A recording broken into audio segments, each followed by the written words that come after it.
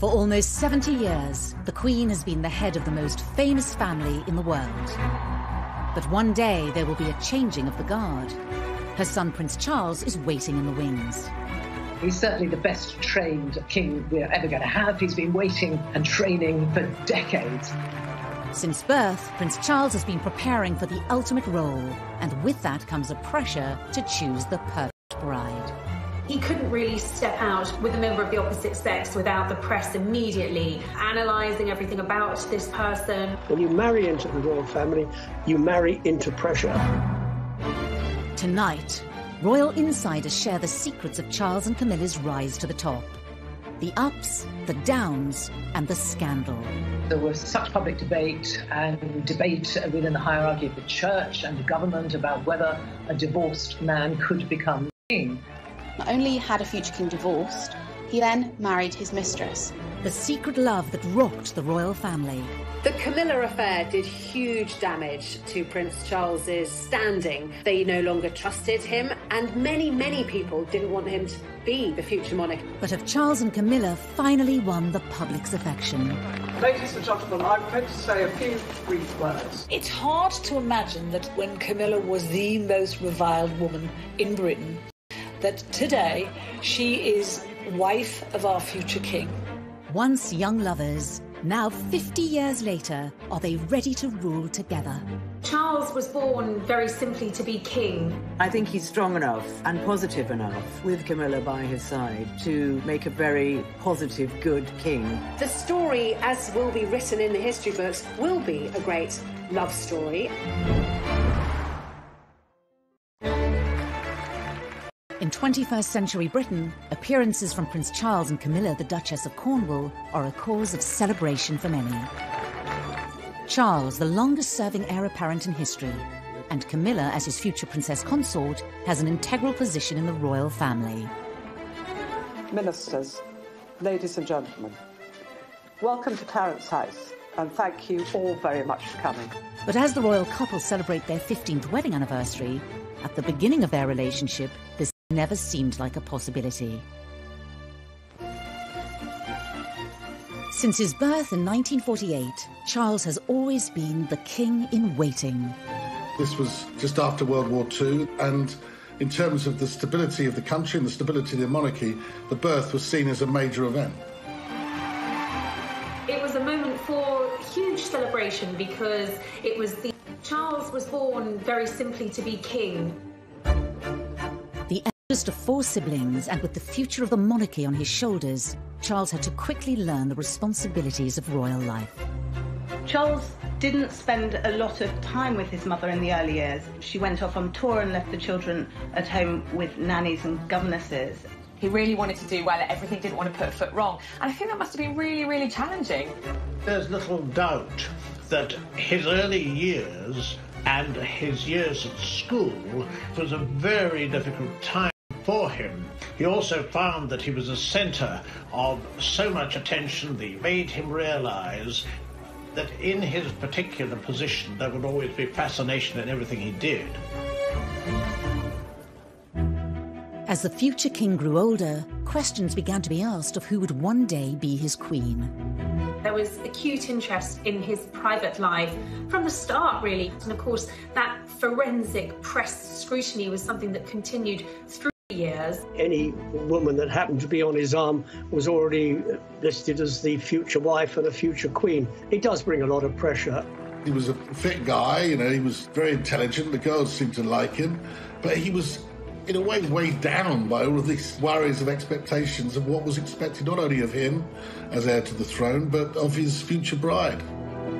In the early 70s, Charles would make an introduction that would change the course of royal history. Camilla came from a very high society background. She had aristocratic links back through her family, and she had a very kind of privileged high society upbringing. Camilla was engaged to Andrew Parker Bowles. They were going to get married, and then it didn't happen. It was a sort of on off relationship. And while it was off, Camilla sort of befriended Charles. They clicked immediately. There was a chemistry between the two of them. And really, I think probably Charles fell in love with Camilla from the moment that he met her. In many ways, she did tick the right boxes for, for a future consort for the Prince of Wales. But did those close to the future king approve? It's fair to say that the senior royals, and certainly the important figures in Charles's life, his mother, his father, and the Queen Mother, who Charles was incredibly close to, he always turned to for advice and would certainly have wanted the seal of approval from. They certainly didn't think that she was suitable future royal bride material. She had a past, and she romanced Andrew Parker Bowles. Parker Bowles had also gone out with Princess Anne. The heir to the throne nearly always was encouraged to go for a wife who was whiter than white. And it was viewed very much that Camilla did have too much of a colourful past. And as for Camilla, his royal duties took him away from her and overseas. Charles was in his 20s. He was having to do military service because he's one day going to be commander in chief.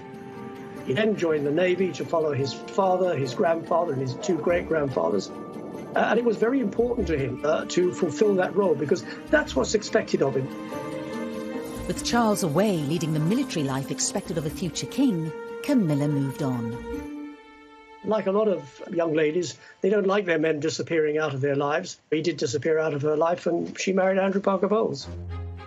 One can only imagine that Charles must have felt pretty crushed by this news. He'd gone away to serve, hoping that Camilla would wait for him. Certainly, he thought that the relationship had legs, even if his family didn't. By marrying Andrew Parker Bowles, Camilla was ruling herself out of ever having a royal future. If she'd even entertained the thought of being queen, she would have thought, well, that's it. I'm waving goodbye to that. Because at that point, of course, in the 1970s, there was no way that a divorcee could ever marry a member of the royal family, let alone the heir to the throne. She remained great friends with Prince Charles. Prince Charles was always around at their house. You know, he, he's a godfather to their first child. He was almost one of the family. By the late 70s, eligible bachelor Charles was approaching 30 years old and still without a future queen by his side. He's getting on a bit, isn't it? About time we got married. The media scrutiny grew. He was seen very much as the action man, and a lot of uh, glamorous women were, sort of came and went. and, um, you know, the, the tabloids began to catch on to the fact that this was a, a bit of a good story. He couldn't really step out with a member of the opposite sex without the press immediately analysing everything about this person. Even though he was very much sought after, that um, in terms of his connection, in terms of that love, his relationship with um, Camilla never left him. One of the women Charles dated was Lady Sarah Spencer.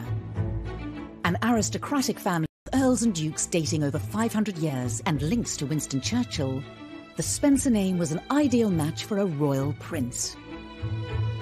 Although the relationship with Sarah didn't last, it resulted in Charles meeting her younger sister, Diana. Shortly after the funeral of uh, Lord Mountbatten he'd been assassinated, Charles had been very, very upset. And um, Diana said to Charles, I, I saw you at that funeral and you looked so terribly sad. And he was very touched by this. And there was beautiful young girl showing him attention. And clearly he, he felt a lot of responsibility too to fulfill what was necessary as the heir to the throne and get married. Where Camilla had been deemed unsuitable as a future queen, Diana was the proposed at Windsor Castle. He was given more as an ultimatum by his father to either marry uh, Diana um, or let her go. Diana ticked all the boxes. She didn't have any baggage, she hadn't had any relationships really before meeting Prince Charles. He thought she was the kind of girl he could grow to love. Despite the shortness of their courtship, the palace, press, and the public were enamoured by the royal couple. Why have you come here today? To try and get a glimpse of Diana and Charles. Why, why you say please? Because I think she's just the right person for him. This was an extraordinarily quick whirlwind, but it's what the public wanted. Once they saw Diana, they wanted Diana to be Prince Charles's wife. You were about to uh, marry the Prince of Wales, and, and one day you would, in all likelihood, be Queen. It's a tremendous change for someone, if I may say, of 19 to make all of a sudden, the transition. It is, but I've had a small run out to it all in the last six months. and next to Prince Charles and I can't go wrong. He's there with me. I'm amazed that she's uh, been brave enough to take me on. Shockingly, they'd only met a dozen times before they married. They didn't know each other at all. And I suppose in love. Of course. whatever in love means. So. Most of the world thought they were looking at the future king and queen of Britain. Everybody likes to think when they get married that they're going to be married for life. It's a fairy tale. I saw for myself, they were in love with each other at the beginning, but somewhere along the line, it collapsed.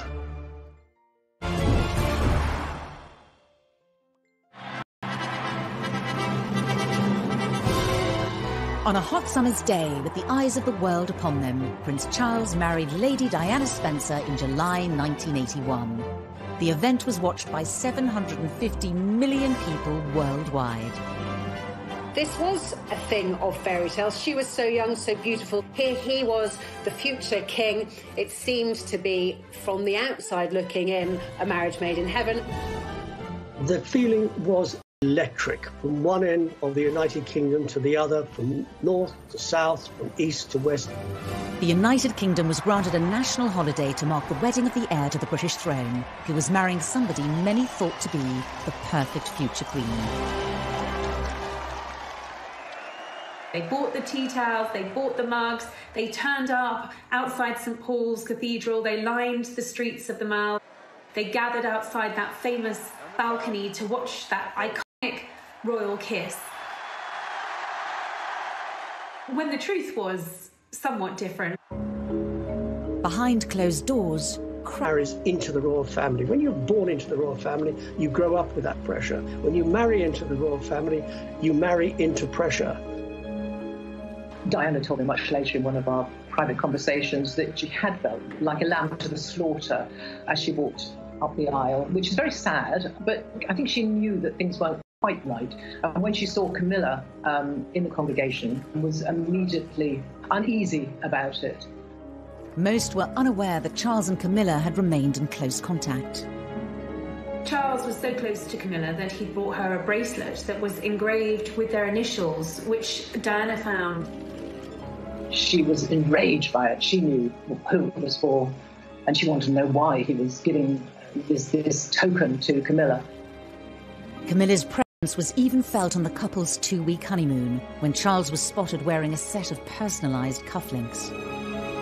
Almost unbelievably, Charles wore cufflinks, the C and C, meaning Charles and Camilla. They didn't have anything in common. They didn't seem to be able to talk to each other.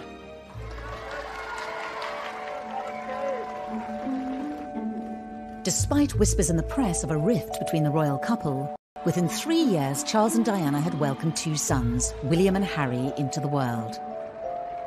Royal insiders pinpoint this as the moment that Charles and Diana's relationship was starting to break down.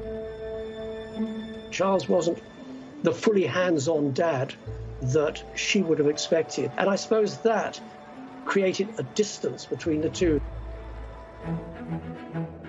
She strongly suspected that Charles was still in love with Camilla and hadn't let go of her. Diana felt cut off, she felt isolated, she felt betrayed.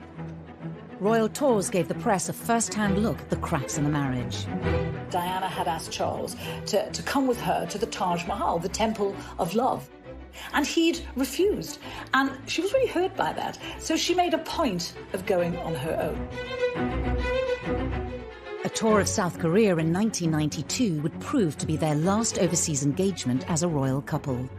All attention from the British press was focused on any mutual signs of affection being shown between the prince and the princess they went separately and they left separately. And I think the, the press really jumped on that and they realised that this was going seriously wrong.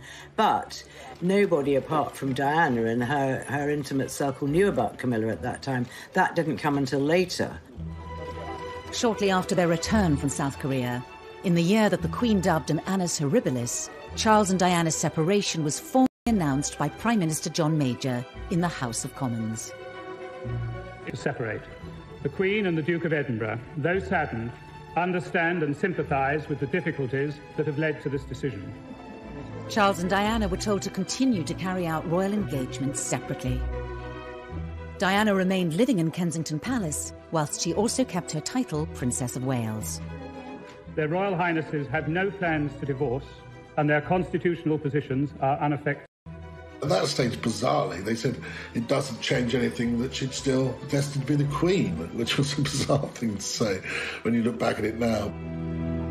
Despite them no longer being a couple, divorce wasn't an option for the heir to the throne. Charles, as the heir to the throne, is the future head of the Church of England. The thought that someone that was who was going to be head of the Church of England could ever be divorced was complete no-no. The heartbroken public were unaware of the reasons behind the separation of their future king and his queen. What do you think of the news today that she's going to live separately from Prince Charles? She's not. That's the first time I've heard that. First time I've heard that. At that point, there were whispers within the palace, within the press, but nobody really had the full story. But within months of Charles and Diana going their separate ways, leaked phone calls seemed to publicly confirm Camilla's relationship with the future monarch. Tabloid newspaper had somehow managed to get access to conversations between the future king and his lover, Camilla Parker Bowles, which were at best described as intimate, although I'm sure the Queen probably had other choice words for the conversations that were leaked. This, after all, is the future king, someone the nation needs to look up to, to have the utmost respect for. And here he is on tape, speaking to his lover, telling her that he wishes he could be a Tom revelations proved devastating for Prince Charles, whose press image had been at an all-time high just a decade earlier. Prince Charles was in Shetland today, doing his best to look as if personal problems were the last thing on his mind, and he avoided all questions about the Camilla Gate tapes. The Charles Camilla Gate was catastrophic, and it was it was the beginning of of the public's absolute hatred of Camilla and his standing plummeted as well. People thought he was ridiculous, they thought he was cruel, they thought they, they deemed them both to be incredibly cruel to have done this to Diana. The leaked tapes were the beginning of a public feud between Charles and Diana, later dubbed the War of the Waleses. Charles and Diana fought each other using friends in the press. This was open warfare. In a rare television interview appearance, Prince Charles sat down with broadcast. Mrs. Bowles is a great friend of mine. I have a large number of friends. I'm terribly lucky to have so many friends who I think are wonderful and uh, make the whole difference to my life, which would become intolerable otherwise. And she has been a friend for a very long time. During the unprecedented documentary, Prince Charles publicly confirmed for the first time that he'd been unfaithful to Diana. Dickie Arbiter was Prince Charles's press secretary at the time. And I warned them at the time it would have to be warts and all. You cannot deny anything, you cannot leave anything out. Uh, and nothing was left out because Jonathan Dimbleby asked the Prince of Wales about extramarital relationship. Did you try to be faithful and honourable to your wife when you took on the vow of marriage? Yes, absolutely. And you were? Yes. Until it became irretrievably broken down. He admitted that he had been unfaithful, although he said not until his own marriage had irretrievably broken down, both of us having tried. But that was the headline Charles admits adultery. To go from a wink, wink, nudge, nudge, you know, such and such member of the royal family has got mistresses on the side or, you know, is having affairs, was quite different to actually hearing from the future monarch, I have been unfaithful to my wife, and my wife is Diana, one of the most popular women on the planet. He was very upset with the negative press, as anybody would be, and, and, and it was it was very negative. It was very it was very vicious. Less than a year later, Diana, still with her Princess of Wales title, retaliated with a revelatory BBC Panorama interview with Martin Bashir. It was an absolute secret. No one knew about this. Uh, very few people within the BBC knew it was happening. I certainly didn't know as the BBC's royal correspondent until 24 hours before it was going to go out. In the hour long interview, Diana laid bare details of her marriage, as well as confirming that Charles had been having an affair with Camilla. Your husband renewed his relationship with Mrs. Camilla Parker Bowles. Were you aware of that? Yes, I was. But I wasn't in a position to do anything about it. A husband who was having a relationship with somebody else? Was a husband who loved someone else, yeah. You really thought that? hmm I didn't think that, I knew it. There were some t- terrifically damaging assertions in there. I think the more damaging in the eyes of the palace was that she questioned Prince Charles's desire and ability to be king. Do you think Mrs. Parker Bowles was a factor in the breakdown of your marriage? Well, there were three of us in this marriage, so it was a bit. After the Panorama interview, and she was very contrite. She was very sorry that she had done it, but why had she done it in the first place? It was all this sort of attacking each other, get, getting back at each other. The scandal rocked the royal family. This is not what the monarchy is supposed to be about, and it had become a complete soap opera.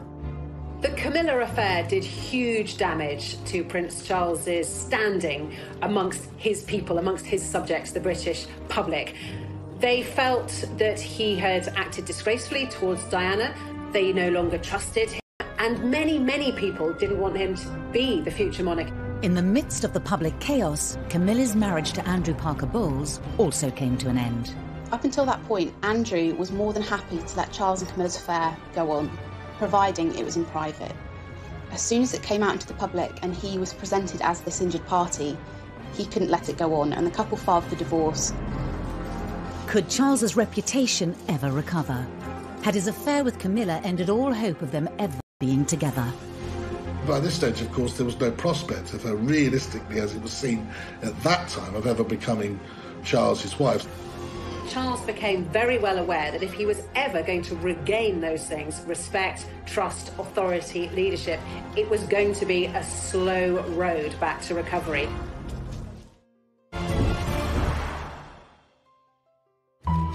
Charles and Camilla's affair had been explosive for the monarchy. Prince Charles was in Shetland today, and he avoided all questions about the Camilla Gate tapes. The popularity of the future king was at an all time low with the public, as was Camilla's. So at this point in the kind of mid 90s, Camilla was, her reputation was absolutely traduced. She was a marriage wrecker, she was a temptress, she looked like a horse. People would spit at her in the streets. Her public reputation that she was a complete evil witch and she had seduced Prince Charles from his gorgeous wife. She was, I think it's fair to say, um, the most hated woman in Britain at one point. Charles's relationship with Diana had also sunk to a new low. Things just got so toxic, and they really were toxic between Charles and Diana. They couldn't even be in the same room as each other. And I think it was having a really bad effect on, on, on William and Harry. The marriage problems of Charles and Diana have cast a shadow over the royal family. Now the Queen has decided to bring the whole issue to a head by advising them to divorce. There's no doubt at all that as Supreme Governor of the Church of England, the Queen certainly did not welcome the prospect of divorce. But since there was such enmity between the couple, there was absolutely no choice. HRH the Prince of Wales versus HRH the Princess of Wales. This was unprecedented. Of course, Charles, as a future king, is going to be the head of the Church of England. The Church of England does not condone divorce. So this was damaging for the royal family.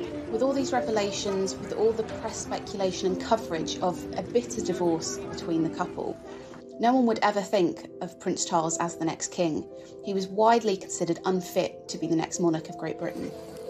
Charles's position as the future king looked precarious, and his relationship with Camilla was damaging his standing within his own family.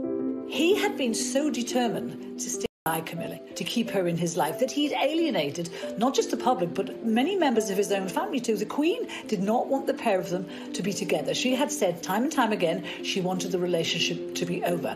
During this difficult time, there was only one person he could turn to and truly confide in. While Camilla was absolutely reviled in, in England, um, hated by a lot of people. Um, to Charles, she was his absolute pillar of strength. You know, she was his rock, and really, she was everything to him. Charles was determined to continue his relationship with Camilla and one day make her his future queen. Anyone close to the Prince of Wales, and that included his mother, knew that when it came to Camilla, she was non negotiable, and Charles made that very clear from the outset. He hadn't gone through everything he'd been through the public humiliation, the admitting of adultery, and not to be with Camilla at the very end of it all. When Camilla was divorced and Charles was divorced, it kind of opened up the possibility of the two of them getting together, but both of them being very sensible people and grown up, uh, realised that this would not be a walk in the park. They would have to do it very gently to ease Camilla into society. If Charles was to keep his throne and one day end up with the woman he loved, he would have to improve his public image and regain their respect. Charles went into damage limitation and firefighting on a level that, frankly, the palace were probably not equipped to do. Charles employed Mark Bolland, a very seasoned and experienced PR professional, to rehabilitate his and Camilla's image. One of the ways he did that was he absolutely befriended all the newspaper editors, he befriended all the newspaper owners, and he gave those editors stories, favourable stories about Charles, about Camilla. And he would feed us little bits of information. He would tell us what Camilla was up to, what Charles was up to, what his feelings were about Camilla. Then Prince Charles and his sons, on their first day together on holiday, appeared, having deliberately and most unusually encouraged the press and television coverage. He was beginning to lay the groundwork for the woman who he wanted to one day be his queen. But in 1997, tragedy struck. We have reports from Paris that Diana, Princess of Wales, has been killed in a car accident. I think that Charles was devastated when Diana died. I think he was racked with guilt. I think also he wanted, as the Queen did, to protect William and Harry. But the monarchy tends to work using precedent. There was absolutely no precedent for the outpouring of grief, which was completely unique when Diana died. But there's no question that Charles attempts to get the public on side with Camilla were obviously set back. In the face of this national tragedy, it looked like the British public would never accept Camilla as part of the royal family.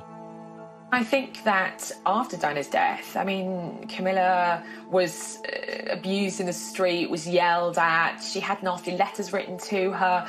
It was really, really difficult for her. The size of the challenge that was facing Charles and Camilla was immense, and many, many people thought it was impossible. People thought if they wanted to be together, they would have to be together abroad, that it could never, ever happen within the United Kingdom. A year after Diana's death, Charles restarted his campaign to introduce Camilla as the woman who would one day stand beside him. But he was met with strong opposition. The Queen was quite clear that she was not going to meet Camilla. She didn't want to hear about Camilla, and, and it was still a name that really wasn't widely spoken in palace corridors.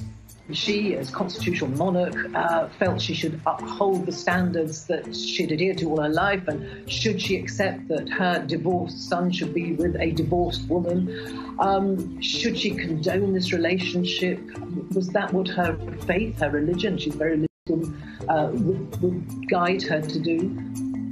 The Queen may have been having doubts, but on Charles's staff, it was decided that they needed to forge ahead with introducing Camilla to the great British public and bring her out into the open as Charles's partner. There was an attempt to do it at the wedding of Santa Palmer Tomkinson, and her mum, Patty, was Camilla's best friend. So they were going to try and be together there, but that couldn't happen either because they, they decided they would they would upstage the bride. And that wasn't fair. There had been suggestions that the Prince and Camilla Parker Bowles would take the opportunity to go public with their relationship. But she joined other guests well before him, looking relaxed and. The couple were invited to the birthday party of Camilla's sister Annabel, to be held at the Ritz Hotel in London. It was seen as the right opportunity to give the British public their first glimpse of Charles with his future consort Camilla by his side. It was dubbed Operation Ritz.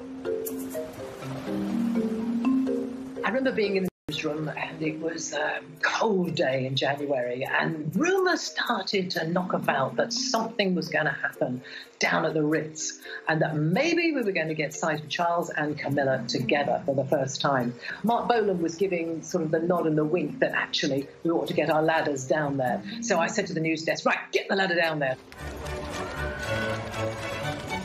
Well, there were 200 cameras there, I think.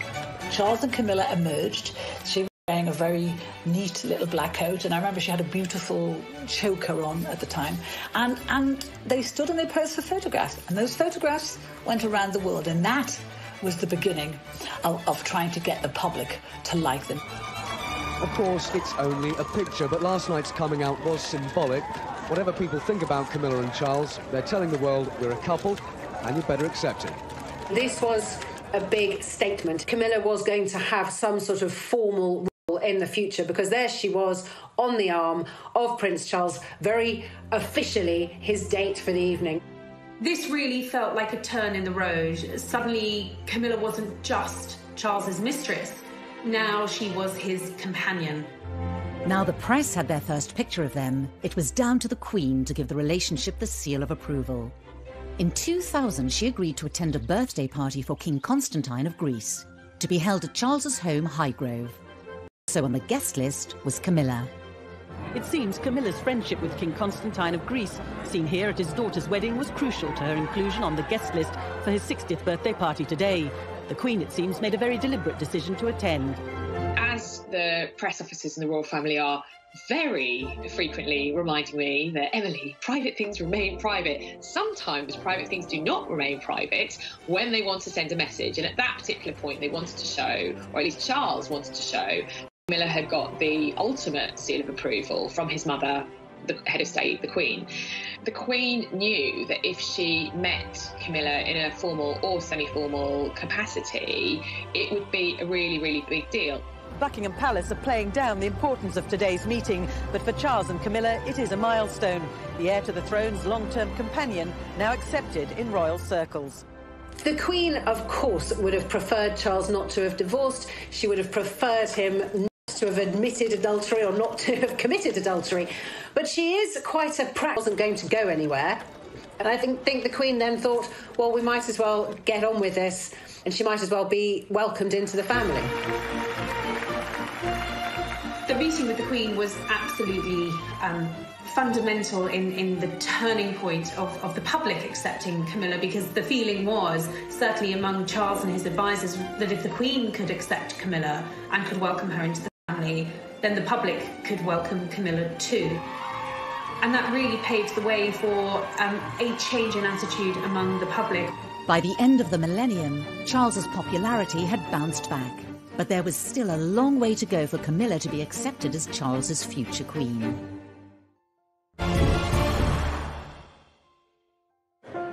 As king in waiting, Charles will not only inherit the throne one day, but also become supreme governor of the Church of England. This posed a problem for Charles and Camilla's relationship. By now, they were officially living with each other at Clarence House and Highgrove. But was Camilla's status as common law wife appropriate for a future king and head of the church? Marriage would make the relationship far more appropriate.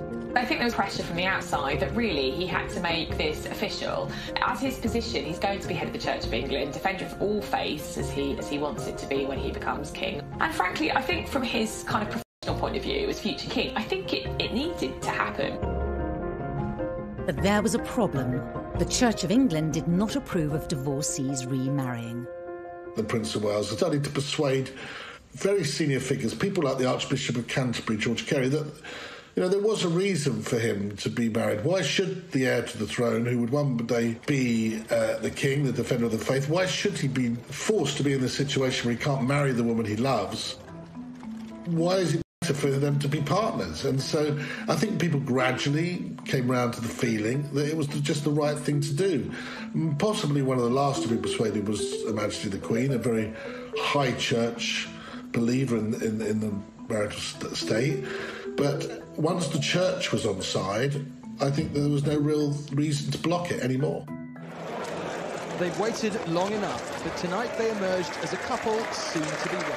In February 2005, 56 year old Charles and 58 year old Camilla announced their engagement. How are you feeling, ma'am? Um, all right. Just all right? I'm just, like, I'm just coming down to earth. Did you get down on one knee to propose? The future bride wore a ring that belonged to Charles's beloved grandmother, the Queen Mother. I think Charles had always wanted to make Camilla his bride, his wife. I think he felt that she had she had endured a lot of real to make her his wife, his bride. This was the first time in history that an heir to the throne would marry a divorcee. The Church of England might have backed the union, but this wedding would have to be very different to all previous royal weddings. Charles and Camilla would need to have a much lower key ceremony. Having been divorced already, both Charles and Camilla would have found it difficult to marry within the church. So instead, they had a civil service at the Windsor Guildhall. This would be the first large scale event with Camilla at the centre of royal life, and Camilla was nervous at the potential public reaction. She was terrified no one would come.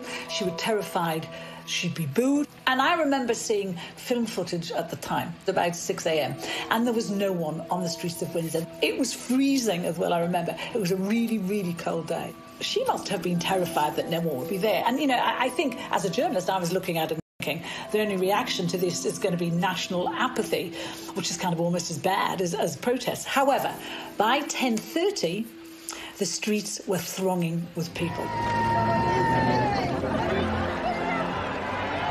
As the prince and his bride were being driven the short distance from Windsor Castle to the Guildhall this morning, history prepared to record a royal marriage without precedent.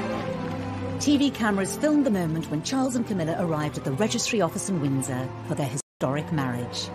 The ceremony was attended by William, Harry, Camilla's children, and a few friends. The Queen, as head of the Church of England, did not feel that she could attend, but she did join the couple for a blessing at St George's Chapel afterwards. The first time the, the public got to see the Queen really close to Camilla was when Charles and Camilla came out of St George's Chapel after the blessing of their wedding ceremony. And there was um, a picture that didn't appear to be staged. It seemed very, very natural, but there was Camilla by the Queen's side, Queen looking very happy, very relaxed, and, well, Charles looking like the happiest man on earth, because I think on that day he probably was. And she looked gorgeous. I mean, she looked fantastic um, in the outfit with that beautiful dress and the head dress. And I thought that she looked the best, you know, she'd ever looked, really. And I think really at that time thought, well, why shouldn't these two, who were the picture of happiness, who had had this long, long love affair on and off over many years, why shouldn't they find happiness? Camilla was now officially part of the royal family. The palace announced that she would be called Princess Consort when Charles becomes king. The Queen also gave her a title of Duchess of Cornwall, which is actually her secondary title. Legally, she is Princess of Wales. But Camilla knew how fond of Diana the public had been. It wasn't going to wash with them that she would be the next Princess of Wales. And then when they got married, it was eight years after the death of Diana, Princess of Wales, and feelings and memories were still running high. So she's used the other title, uh, Duchess of Cornwall. She's quite comfortable with it. Titles do not matter to Camilla. She doesn't really care one iota what she's called, um, as long as she's not called anything rude. The wedding drew a line under Charles and Camilla's past once and for all, and allowed the world to look to the future of the monarchy for all the spin doctors and PR that had gone on for years behind the scenes, the thing that really transformed Camilla's public image was the royal wedding. Because that was her becoming a member of the royal family. And therefore, she was no longer an outsider. She was the Duchess of Cornwall. She was, she is, a future marriage changed everything. Who would have thought that 10 years before, the woman who had been vilified by the British press, Camilla Parker Bowles, was a potential future Queen consort? Now that Camilla was officially part of the royal family, the British public could see what sort of future consort she would be. Of course, once she had married into the royal family, she became Charles's consort. She was there with him on royal engagements. She accompanied him on some royal tours. And actually, Camilla proved to be incredibly popular. She did her own PR. She didn't need a spin doctor. She did what she does best. Um, she engages with people. She has a good relationship with the with the press pack. She doesn't upstage the Prince of Wales in any way. They are a great team. We have to remember that she didn't have a job. She left school with one O level and she didn't have a career. She wasn't a career woman. And at the age of about 60, she had to learn how to work very hard because Prince Charles um, does about 502 uh, engagements a year. He keeps going all the time. He works every day, including Christmas and Easter. As Charles's future consort, she has also thought very hard about the charities that she supports. All senior members of the royal family have their favourite charities, the charities they support, the issues that they're most passionate about. Case, it was very difficult for her because so many causes that we understand she actually did care about were associated with Diana. And she had to be so careful not to tread on Diana's image and Diana's favourite subjects or favourite charities because, of course, it would look like she was trying to walk in She's very committed to, to, to, quite a number of charities. One of them, the Osteoporosis Society, because her mother died of osteoporosis. Another is, is learning, book reading, uh, education, and abuse against women. She's very committed to that as well. Now, the purpose of asking you all here today is to try and form a united front to help victims of rape and sexual abuse. I think Camilla is clearly very passionate about the domestic abuse agenda and about making sure that what influence she has, that she has this platform given to her as a senior member of the royal family, that she's not going to waste it and she's not going to throw it away. And I think a lot of people will admire her for that. As the wife of the heir to the throne, Camilla's image has radically changed. We saw a bit of a, a, makeover ahead of the royal wedding. She she lightened her hair. Has, she clearly had a lot of work done on her skin. She was radiant. She stopped smoking, and you know all of these things to to please Charles. And her sense of style changed too. Now we were seeing her in far more regal attire, you know, experimenting with beautiful dress codes. She's a great lover of hats. She really wears hats well. We saw her coming out in, in jewellery from the royal collection. So really emerging um, as a royal as uh, Duchess of Cornwall, she suddenly began to scrub up pretty well.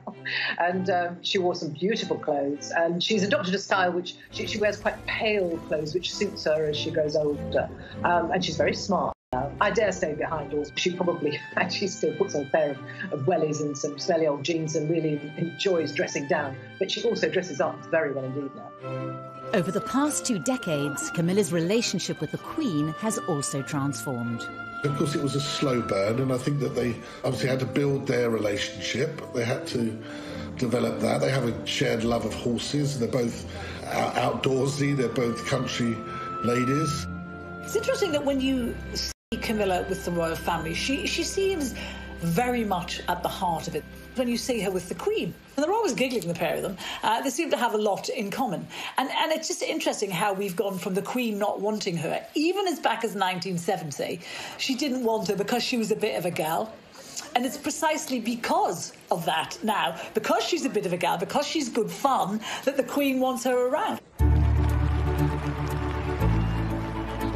At the Queen's Diamond Jubilee, the country celebrated 60 years of the Queen's reign. But it was also an opportunity to clearly show where Camilla was in the royal family's pecking order. When the Queen decided to put paying, this is Charles's wife, she will one day take my place and she is the future of the British royal family. And that marks such a turning point from the woman who'd had bread rolls pelted at her in the supermarket as the wicked mistress of you know, of, of the heir to the throne. Of course, it's a terrible cliche to say that a picture paints a thousand words, but that image tells you that Camilla has come in from the cold. That was a very, very big moment for Camilla.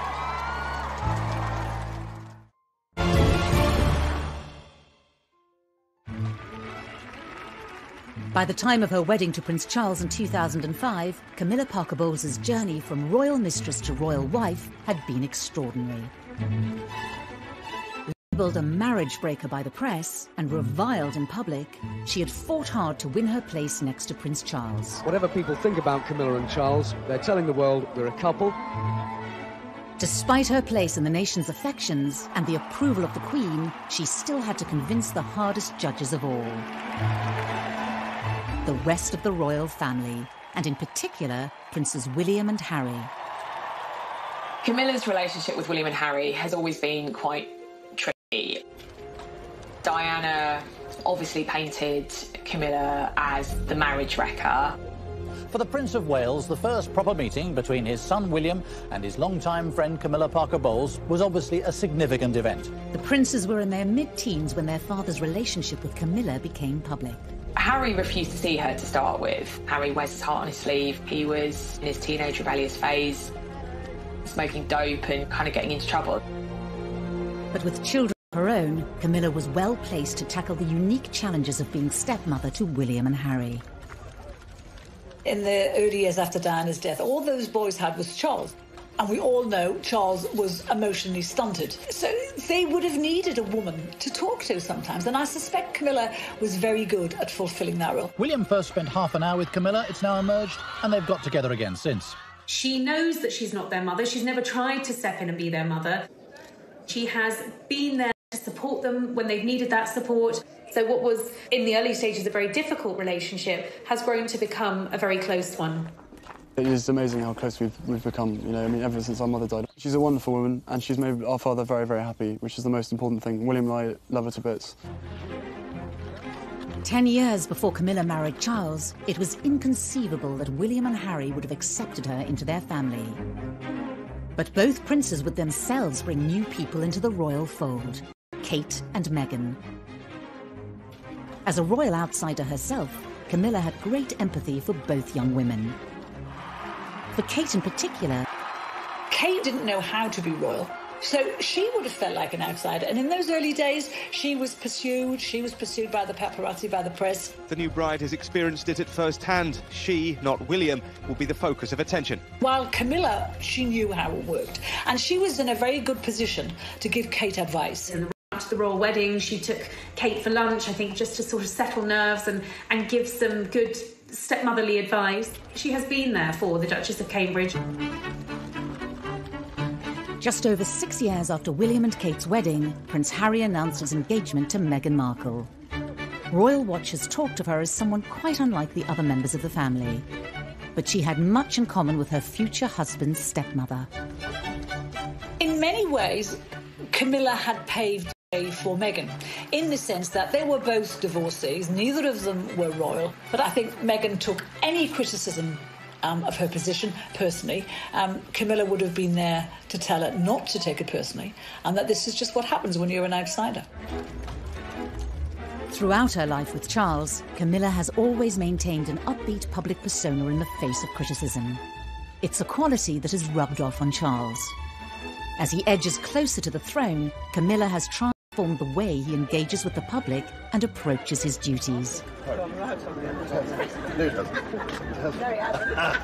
think it's very clear when you look at Charles and Camilla over the last 15 years what a difference she has made to his persona, to his outlook, to his demeanour.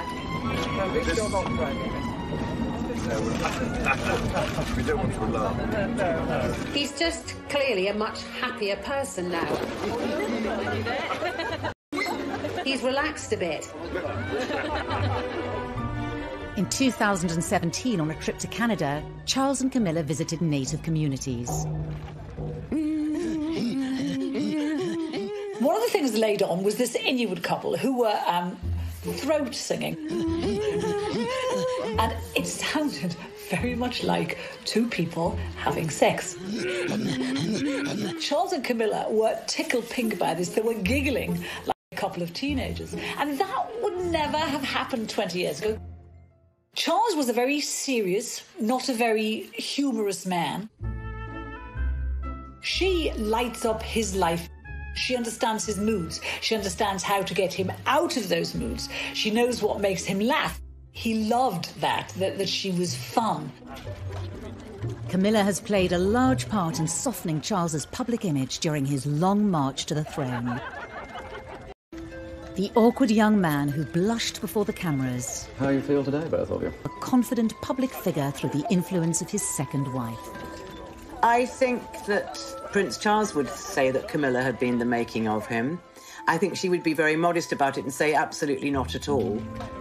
But there may be one area of Charles's public activity which Camilla is powerless to change his now infamous so called political meddling. The results of human activity warm even this remote ocean. He has been outspoken on many issues in the past, and some of which have landed him in hot water.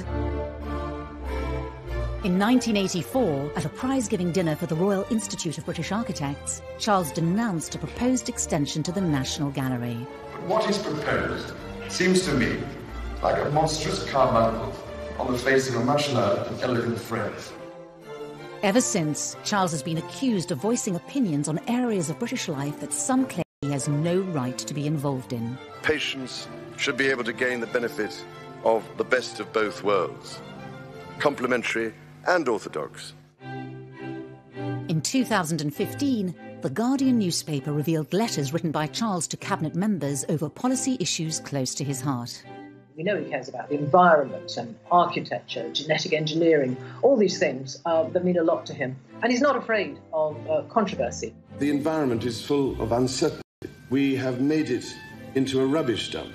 But he's writing the sort of letters with questions that you and I might ask. We won't get the answer, but he'll get the answer. As Prince of Wales, Charles's outspokenness has been tolerated. But when he takes the throne as Charles III, will it continue? The monarch is not supposed to get involved with politics. It will be interesting to see how Charles handles this because he's not used to, to taking a step back. I think we will see him being proactive and possibly even political um, with a small p. But I think it does give us an indication that, that Charles is going to be a hands on king. But you know, the monarchy changes all the time. Maybe he will be allowed to do that if he ever gets to be king. As Charles stands poised to become king, Britain is braced for a different, more political kind of monarchy. But the question remains when will he take the throne? And when his 71 year wait ends, will Camilla take the title of Queen?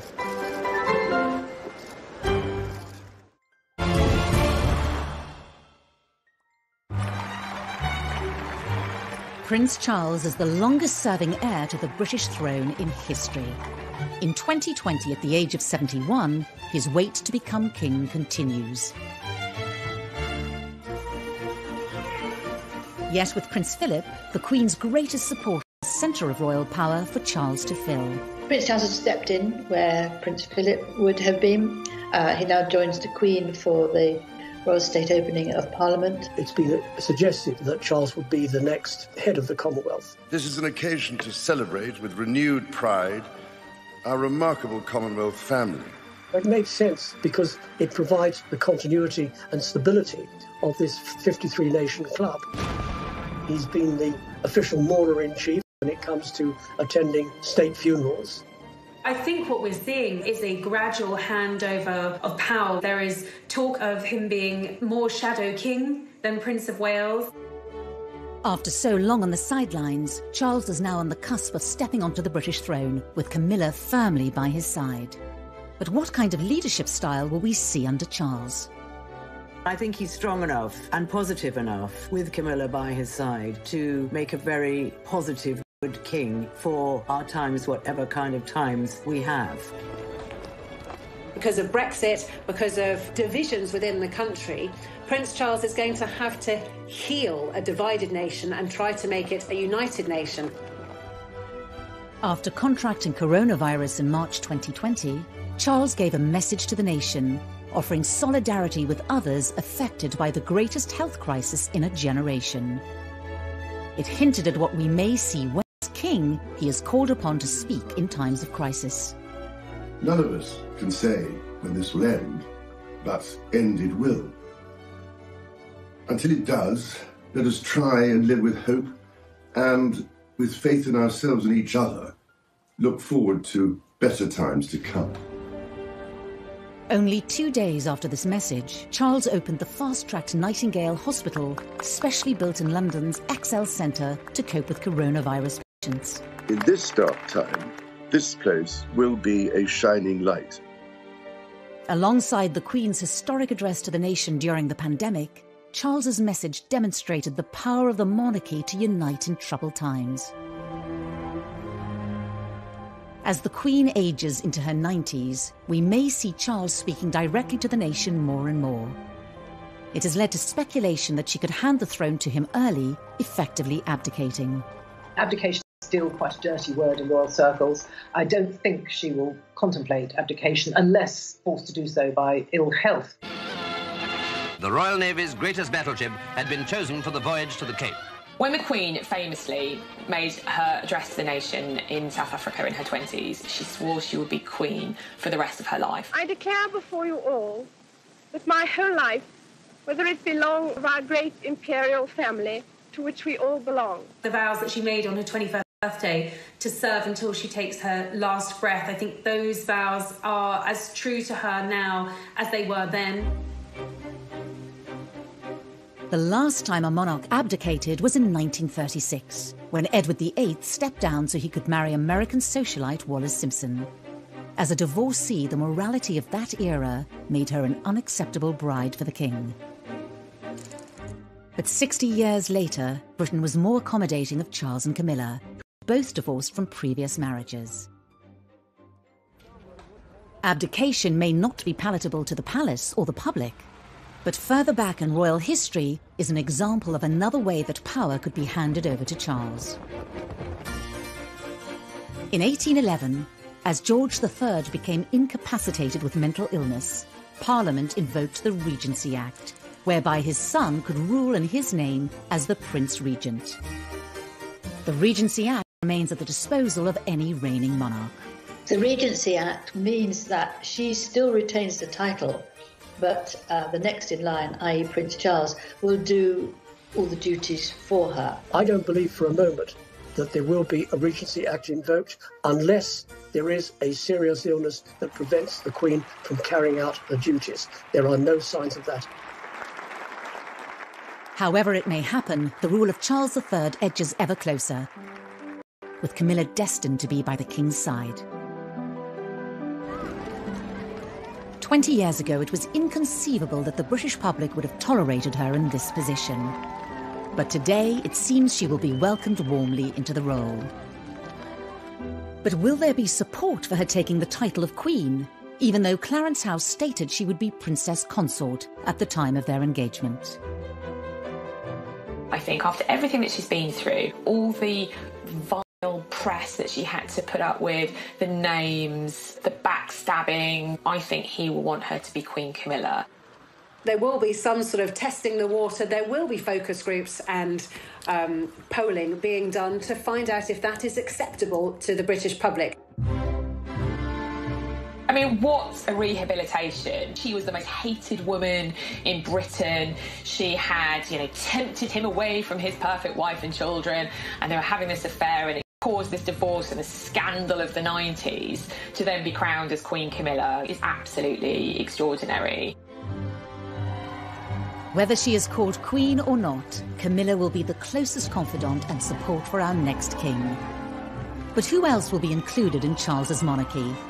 They have already been signed. Very clear for quite some years that he wants to streamline the monarchy and he doesn't want too many members of the family to charge the British taxpayer more than they have to although this is, might be a good thing for the taxpayer and a good thing for the way the royal family work, it's not such a good thing for the charities because you can't stay involved with all these charities with so few people.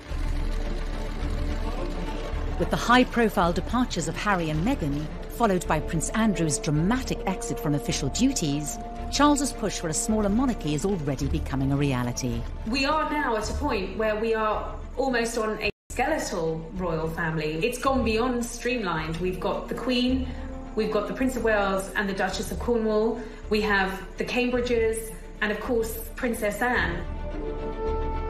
Whatever form Charles's inner circle takes, Camilla will be beside him, as she has been for 20 years. Their journey as a couple together has not always been smooth. But it seems for now destined for a happy ending.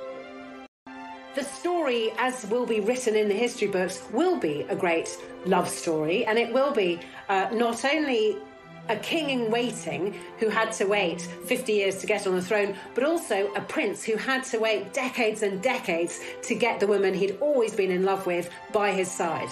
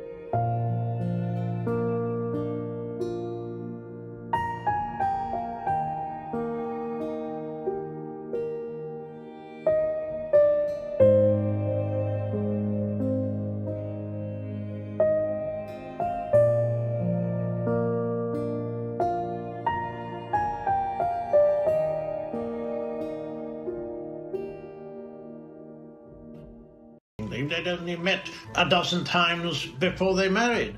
They didn't know each other at all. And I suppose in love. Of course. Whatever in love means. Most of the world thought they were looking at the future King and Queen of Britain. Everybody likes to think when they get married that they're going to be married for life. It's a fairy tale. I saw for myself, they were in love with each other at the beginning, but somewhere along the line, it collapsed.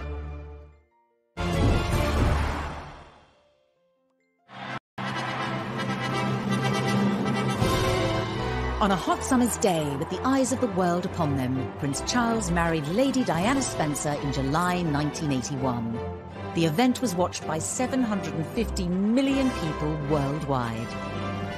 This was a thing of fairy tales. She was so young, so beautiful. Here he was, the future king. It seemed to be, from the outside looking in, a marriage made in heaven. The feeling was electric from one end of the United Kingdom to the other, from